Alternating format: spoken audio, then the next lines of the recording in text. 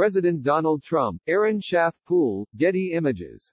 The Trump White House has a new internal battle, how much to talk publicly about a pandemic that's crippling huge swaths of America.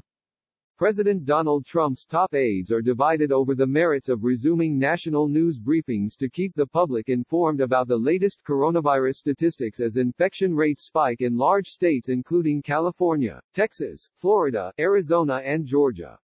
White House Chief of Staff Mark Meadows, Senior Advisor Jared Kushner, Press Secretary Kayleigh McEnany and Counselor to the President Hope Hicks are among the aides arguing against these regular sessions because they want to keep the White House focused on the path forward and the nascent economic recovery, without scaring too much of the country about a virus resurgence when infections are rising at different paces in different regions. Other senior aides, as well as Vice President Mike Pence and his team, believe keeping Americans up to date about the nature of the outbreak is critical as the death toll rises. More than 126,000 people have perished in the U.S. because of the coronavirus, according to the Centers for Disease Control and Prevention, and the government's own experts are warning of serious trouble ahead. The brewing internal fight shows the extent to which the White House has lost control of its messaging on COVID-19, the disease caused by the novel coronavirus, as the majority of voters disapprove of Trump's handling of the virus, according to interviews with a half dozen current and former senior administration officials and Republicans close to the White House. Trump's standing in the polls has slipped in recent weeks among senior citizens, suburban women and white non-college educated voters, all critical constituencies for the president heading into the heat of his re-election race. Top aides cannot determine the best way for Trump to appear in control of the response, while the president himself has remained focused on culture war concerns such as protests, the removal of monuments and the funding of law enforcement. Trump has told advisers and allies he expects a vaccine for the novel coronavirus to arrive this fall, a timeline for which there is no certainty, and he wants aides to offer both facts and a message of optimism to the public, a senior administration official said. Since the federal government's COVID-19 task force discontinued its daily briefings in May, Pence has taken on most of the administration's coronavirus messaging responsibilities, through interviews with local news outlets, outreach to religious groups and engagement with key constituencies. Several of his trips outside Washington in the past two months have featured informal updates on state reopenings, disease transmission and the status of a vaccine. Now, Trump aides are trying to decide whether to put the national spotlight back on what they have spent months arguing is a series of state and local issues, that had previously been relegated to the vice president's office. Cutting back and the briefings left a void that was filled by the media and the president's political opponents in order to mislead people, and it resulted on the administration being put on the defensive, a second senior administration official said.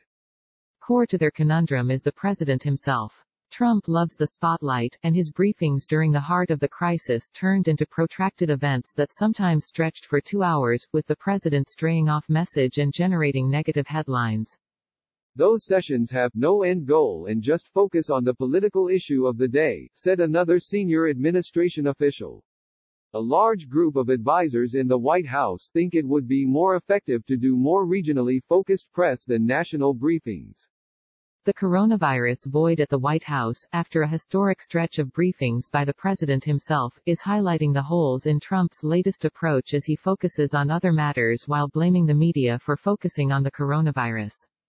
Trump's handling of the virus risks damaging his standing even further, making him look out of touch with even his own supporters in red states now struggling with the virus resurgence. You can't spin a pandemic, said David Axelrod, the former senior advisor to former President Barack Obama.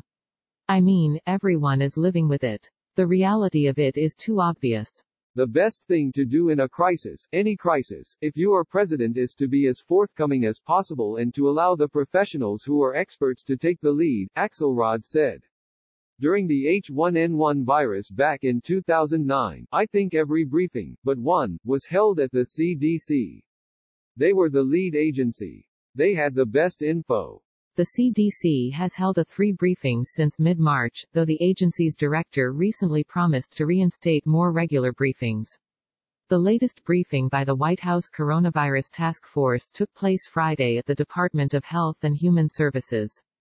Pence also visited the U.S. Public Health Service Commission Corps headquarters in Rockville, Maryland, on Tuesday to offer remarks and answer reporters' questions. At the request of President Trump, Vice President Pence is pleased to provide the White House Coronavirus Task Force briefings to the American people, Pence spokesman Devin O'Malley said. Some White House officials, such as Meadows, want Dr. Deborah Birx, a global infectious diseases expert on the White House task force, to become the face of the coronavirus response and make appearances on local media in hard-hit areas like Texas, Arizona and Florida. Birx joined Pence on his trip last Sunday to Texas, where they met with Governor Greg Abbott and pleaded with the public to wear protective masks.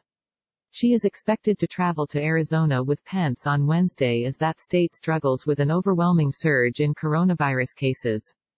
The White House is also working on a public service announcement on COVID-19 that features Surgeon General Jerome Adams, Birx and Food and Drug Administration Commissioner Stephen Hahn.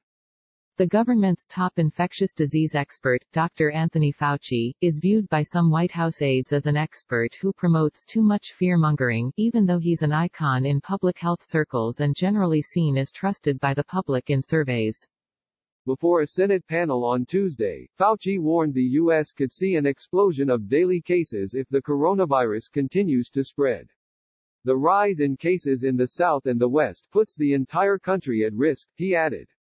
We are now having 40 plus thousand new cases a day, Fauci said.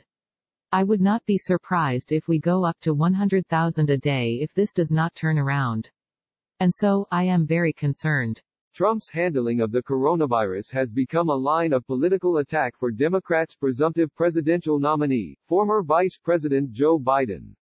Biden devoted the majority of a speech in Wilmington, Delaware, on Tuesday to criticizing the Trump administration's response to the virus and outlining the steps he would take if he is elected in November. Month after month, as other leaders took the necessary steps to get the virus under control, Donald Trump failed us, Biden said. He argued the White House should offer weekly updates on vaccine distribution and production and that Trump should send a clear signal on wearing masks. Public health experts say the administration's messaging on the virus, dating to January, has been contradictory and confusing, from Trump assuring Americans the virus would be gone by April to the administration's advice on wearing masks to Trump's own promotion of hydroxychloroquine, a drug proven for treatment of COVID-19.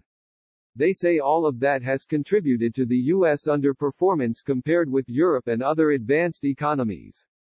The briefings we saw previously were basically propaganda exercises, said Greg Gonsalves, an assistant professor in epidemiology at the Yale School of Medicine. They provided a bare minimum to the public on how to protect themselves, and they were often a vehicle for misinformation and disinformation. If we have briefings, they need to be science-based. They need to be fact-based, Gonsalves added. We are not asking that much out of this administration.